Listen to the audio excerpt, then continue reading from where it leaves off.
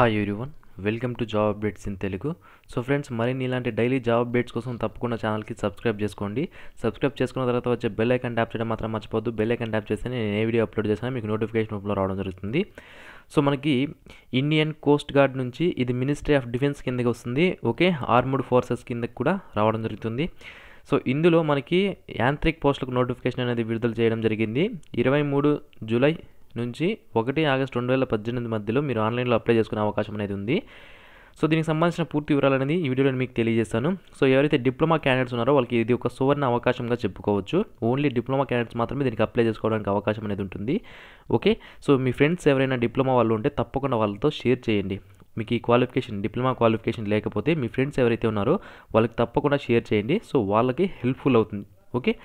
So మనకి డిప్లొమాలో electrical mechanical electronics and telecommunication radio and power engineerings చేసింటారు. వాళ్ళు దీనికి ఎలిజిబిలిటీ అనేది ఉంది. మినిమం సిక్స్టీ పర్సెంట్ మార్క్స్ అనేది వాళ్ళకి వచ్చి ఉండాలి. అగ్రిగేట్గా సిక్స్టీ పర్సెంట్ మార్క్స్ అనేది ఉండాలి. ఎవరైతే ఎస్సీ ఎస్టీ క్యాండిడేట్స్ ఉన్నారో వాళ్ళకి ఫైవ్ పర్సెంట్ రిలాక్సేషన్ అంటే ఫిఫ్టీ ఫైవ్ పర్సెంట్ మార్క్స్ వాళ్ళకున్న టోటల్ అగ్రిగేట్గా అప్లై చేసుకోవచ్చు. అలాగే నేషనల్ లెవెల్లో ఎవరైనా sports persons first second third పొజిషన్స్లో వచ్చింటే వాళ్ళు కూడా దీనికి ఫైవ్ పర్సెంట్ రిలాక్సేషన్ అనేది ఉంటుంది. ఓకే? ఏజ్ విషయానికి వస్తే మినిమం ఎయిటీన్ ఇయర్స్ ఉండాలి మాక్సిమం ట్వంటీ టూ ఇయర్స్ వరకు మధ్యలో ఉన్న వాళ్ళు దీనికి అప్లై చేసుకోవచ్చు. అది ఎప్పటికంటే ఒకటి ఫిబ్రవరి సో బిట్వీన్ ఒకటి ఫిబ్రవరి రెండు వేల సారీ పంతొమ్మిది వందల తొంభై ఏడు నుంచి థర్టీ వన్ జనవరి రెండు వేల ఒకటి మధ్యలో ఈ ఏజ్ అనేది ఉండాలి. ఫైవ్ ఇయర్స్ ఎస్సీ ఎస్టీ వాళ్ళకి ఫైవ్ ఇయర్స్ ఏజ్ రిలాక్సేషన్ ఉంటుంది. అప్పర్ ఏజ్లో ఓబీసీ వాళ్ళకి త్రీ ఇయర్స్ ఏజ్ రిలాక్సేషన్ అనేది ఉంటుంది. ఇక పే స్కేల్ విషయానికి వస్తే మీకు స్టార్టింగ్ శాలరీ ఇరవై తొమ్మిది వేల రెండు వందలుగా పే స్కేల్ అనేది ఇవ్వడం జరుగుతుంది. సో అలాగే దాంతోపాటుగా ఆరు వేల రెండు వందల యాంత్రిక్ పే అలాగే డిఆర్ డిఆర్ఎన్ఎస్ అలవెన్సెస్ ఇతర అలవెన్సెస్ అని డ్యూటీని అలాగే ప్లేస్ని బట్టి మీకు అలవెన్సెస్ అనేవి ఉండడం జరుగుతుంది. నెక్స్ట్ ప్రమోషన్స్ విషయానికి వస్తే ప్రధాన సహాయక ఇంజనీర్ వరకు మీకు ప్రమోషన్స్ అనేవి ఉంటాయి. ఓకే? సో అప్పుడు మీ శాలరీ నలభై ఏడు వేల ఆరు వందల వరకు మీకు శాలరీ అనేది రావడం జరుగుతుంది starting. Okay? So free ration ఫ్రీగా రేషన్ ఇస్తారు ఫ్రీ మెడికల్ ట్రీట్మెంట్ ఉంటుంది గవర్నమెంట్ అకామిడేషను మీకు మీ ఫ్యామిలీకి నలభై ఐదు రోజులు ఎన్నుడ్ లీవు ఎనిమిది రోజులు క్యాజువల్ లీవు.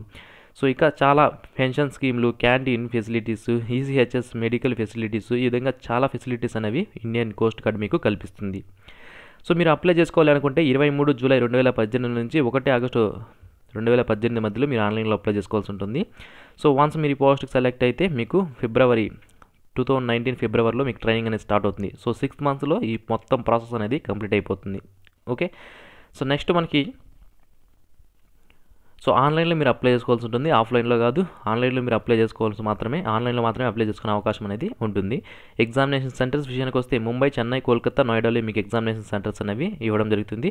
సెలక్షన్ ప్రాసెస్ విషయానికి వస్తే షార్ట్ లిస్టెడ్ క్యాండిడేట్స్కి హాల్ టికెట్స్ అనేవి పంపించడం జరుగుతుంది. ఇందులో తర్వాత మీకు written examination physical fitness test అనేది కండక్ట్ చేస్తారు.